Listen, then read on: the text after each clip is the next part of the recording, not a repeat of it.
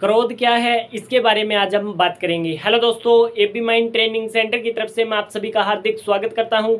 मेरा नाम अभय कुमार, मैं मेंटल हेल्थ काउंसलर। किसी ने मेरे को पूछा था कि, सर, गुस्से के बारे में कोई वीडियो बनाइए, क्रोध के बारे में थोड़ा बहुत बता दीजिए। तो आज का सेशन मेरा उन्हीं लोगों के लिए है जिन्होंने मेरे को ये कमेंट में कहा था। उनका क्वेश्चन मेरे पास स्वीकार हो चुका है और उसके बारे में आज हम चर्चा करने वाले हैं। तो क्या होता है कि उन्होंने पूछा था कि गुस्से के बारे में कुछ बताइए, कुछ टेक्निक्स बताइए। गुस्सा क्या होता है कि हमारी पाँचों ज्ञानेंद्रियाँ कोई ना कोई काम करती रहती है और उसी से ही हमारे इमोशन बनते हैं और इमोशन से हमारी फीलिंग्स बनती है। फीलिंग्स हमारी अच्छी भी हो सकती है, बुरी भी हो सकती है, गुस्से वाली भी हो सकती है। ये एक फीलिंग्स है, छोटी सी, जो हमारे इमोशन पे होता है। और इमोशन हमारा किस तरीके से क्रिएट होगा?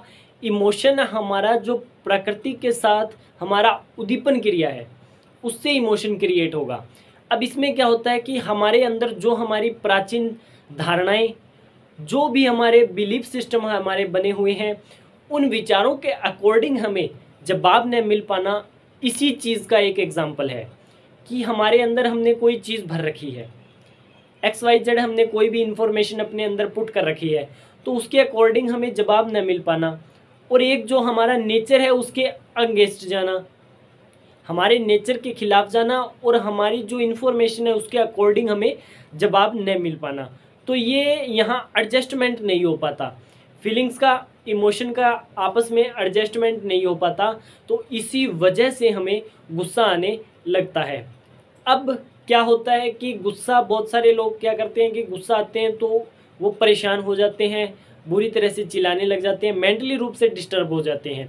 और बहुत सारे लोग ऐसे भी होते हैं कि उन्हें गुस्सा आता है, वो उसे अंदर ही दबा लेते हैं।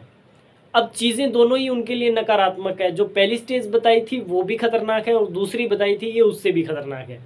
कि लोग क्या सोचते हैं कि चलो ठीक है, मेरे को गुस्सा तो आता है, पर मुँह से अंदर दबा लेता हूँ। कोई टेंशन वाली बात है नहीं। सबसे ज़्यादा टेंशन वाली बात यही है कि आपने गुस्से को दबा लिया है। गुस्से को कभी भी नहीं दबाना चाहिए। या तो आप उससे सेटिस्फाई हो जाएँ, या तो आप उसको क्लियर कर लें, या फिर आप इसको कहीं पे निकाल दें।